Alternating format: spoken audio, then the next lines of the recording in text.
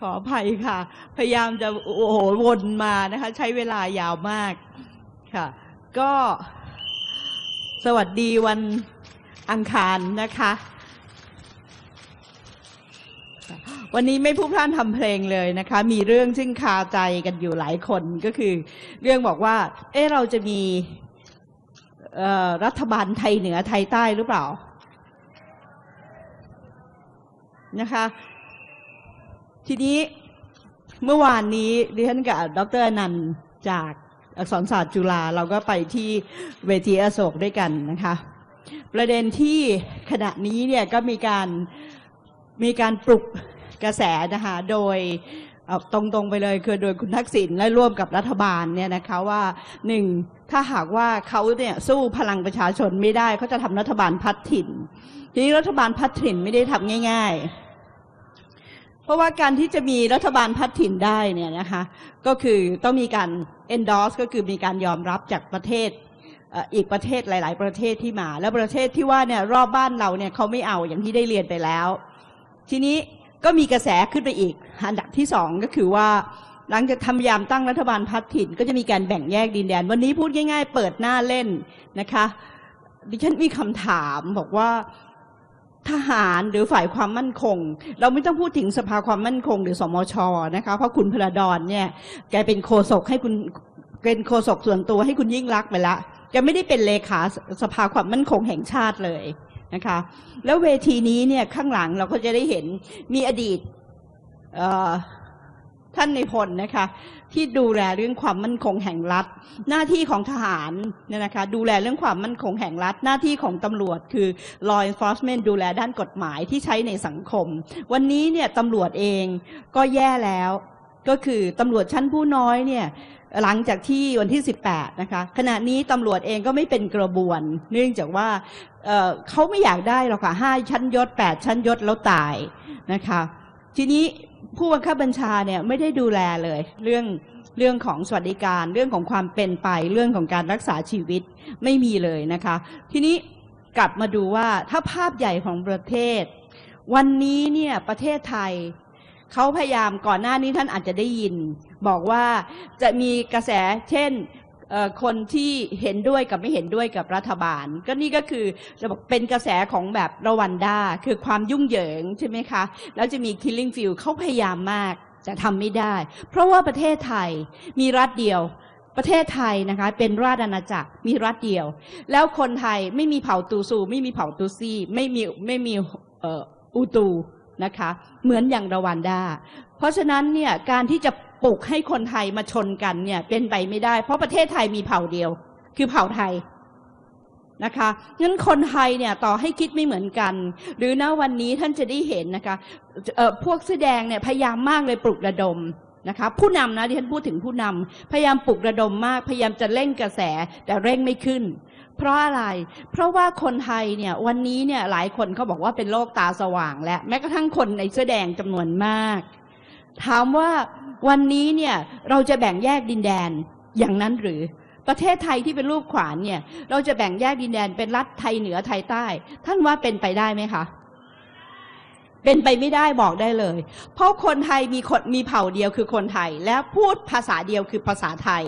นะคะ เพราะฉะนั้นจะเป็นพยายามจะปลุกปั่นให้ประเทศไทยเป็นแบบรวันดาเป็นไปไม่ได้ ทีนี้อันที่สองบอกว่าพยายามจะแบ่งไทยเหนือไทยใต้ เช่น อย่างเกาหลีเหนือหรือเกาหลีใต้ ไม่ใช่ ประเทศไทยไม่เคยถูกปกครองโดย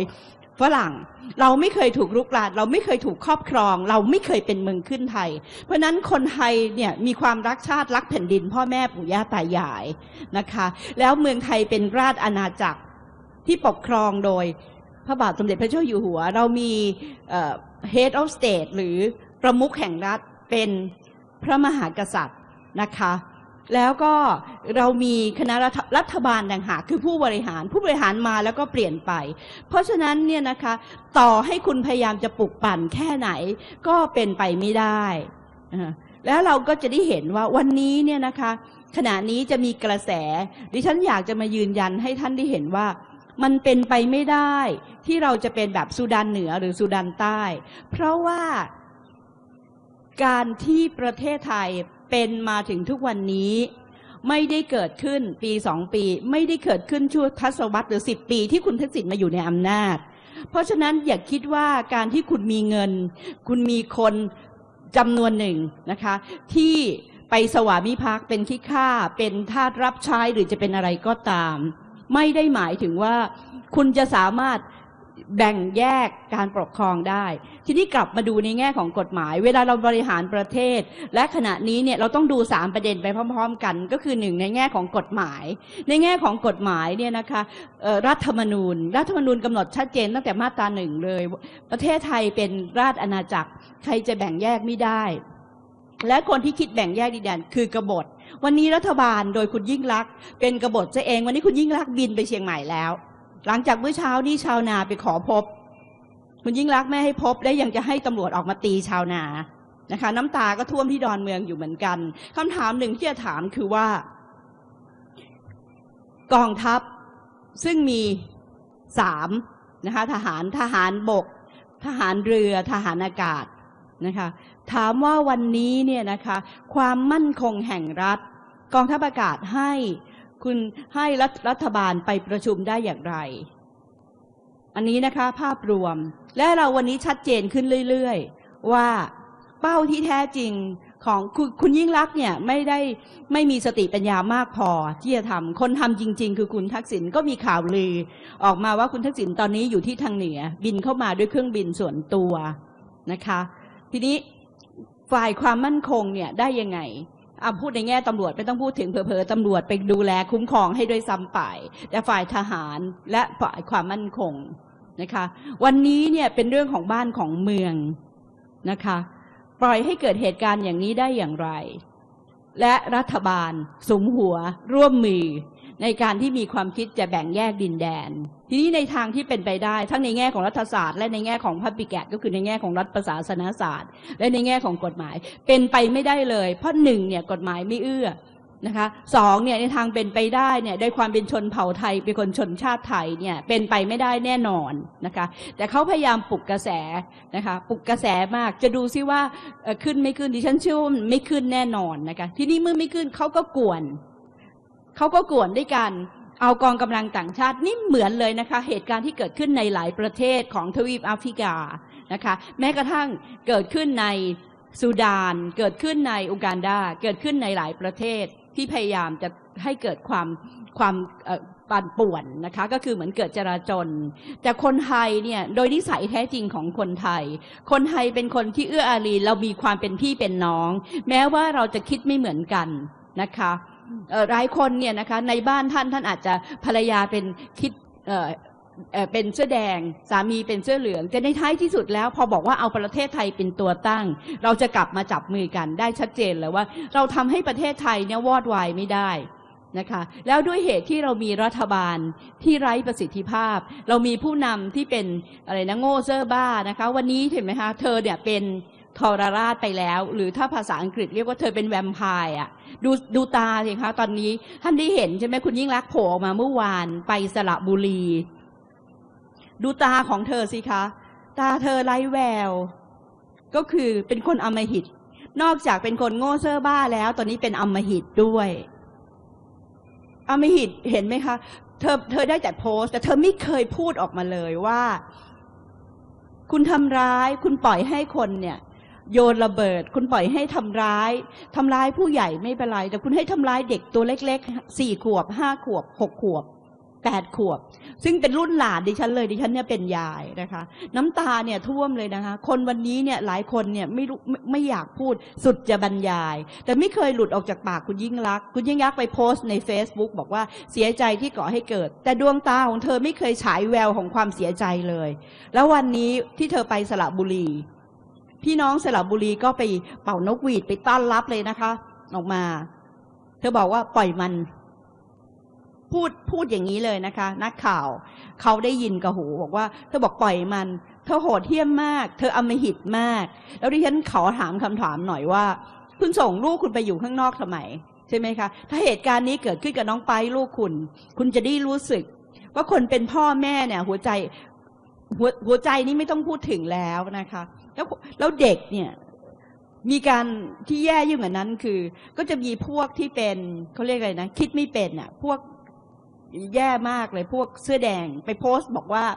ด้วยอาการเลิงล่า บอกว่าดีเลยที่มีการตาย คนที่เห็นการตายของคนอื่น แม้แต่พวกเราเองเนี่ยแม้กระทั่งเสื้อแดงตายหรืออะไรก็ตามเนี่ยนะเราก็เสียใจ ไม่มีใครมีความสุขหรอกที่มีการเกิดการตายขึ้น แต่นี่คุณเริงร่าร่าเริงบอกว่าให้มันตาย เด็กสี่ขวบหกขวบเนี่ยนะคะ ให้มันตาย คุณจะช่วยชาอุบัติได้ยังไง เห็นไหมคะ อันเนี้ยการพยายามปลุกปั่น แต่แท้ที่จริงแล้วเนี่ย การปลูกปั่นนี่ยังเก่งก็เป็นช่วงสั้นๆ แต่ในระยะยาวเนี่ยในช่วงยาวๆ คือประเทศนี้เนี่ยแบ่งไม่ได้ดิฉันมายืนยันตรงนี้นะคะ เมื่อวานนี้เรามีการคุยกันบนเวทีที่อโศกว่าประเทศไทยจะมีรัฐไทยเหนือไทยใต้อย่างนั้นหรือที่โดยกฎหมายเนี่ยมันไม่เอื้อนะคะกฎหมายเนี่ยมันไม่เอื้อให้แบ่งแยกแบบนั้น และโดย ระหว่างกฎหมายระหว่างประเทศและโดยความเป็นไปเนี่ยนะคะ มันยากยิ่งกว่าเข็นคกขึ้นภูเขา ซึ่งเขาก็รู้ แต่ว่า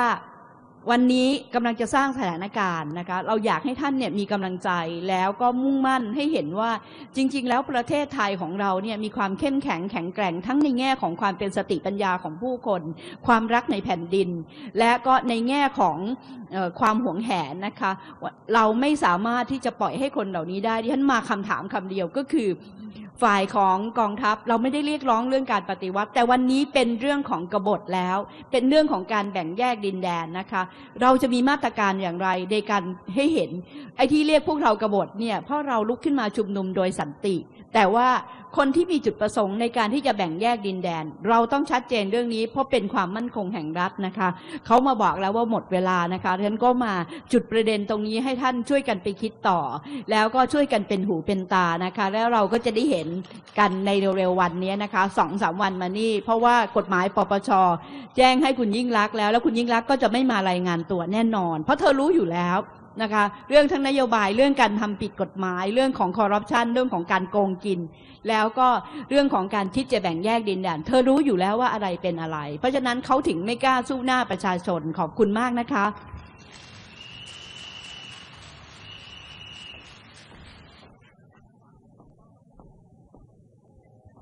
ขอบคุณค่ะ ขอบคุณอาจารย์รัตนาพรธรรมโกศลนะคะค่ะ